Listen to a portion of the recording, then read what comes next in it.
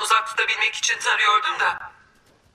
Bu kinetik cevher eski adamızda yoktu. Ancak burada yakıtta, silahta, eşyada her şeyde var. Birkaç ekipman bul bakalım. Neler yapabileceklerini görelim.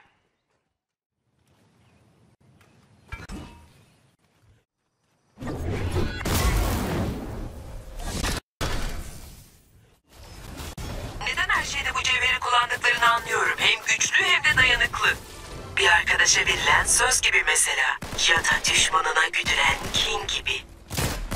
Madenin sahibi kesin şu kalede yaşıyordur. Bir ziyaret edip ona kin mi küssem acaba?